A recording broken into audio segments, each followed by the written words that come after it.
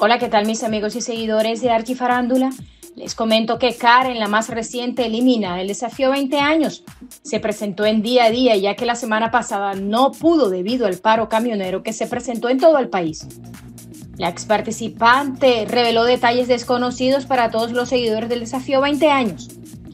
Comentó que siente que no fue su momento de irse ya que tenía muchas cosas por dar y por vivir, porque ella se veía en la final.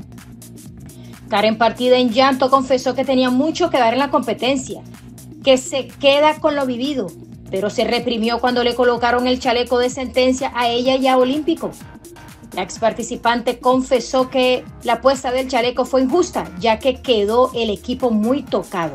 Sin embargo, se quedó callada y no dijo nada, pero no estuvo de acuerdo con el chaleco de sentencia. Ella quería colocar su nombre en la Copa de Campeones, pero lástima que no se pudo, pero se queda con el amor que le tienen todos los colombianos. De Dixon confesó que lograron formar una linda amistad y que la peor convivencia que tuvo en el desafío 20 años fue en la época en donde estaba Beba. También confesó que nunca se tomó nada personal a pesar de que ella se enteró que muchos compañeros hablaban de ellas a sus espaldas. ¿Qué piensas? Déjame saber tus comentarios.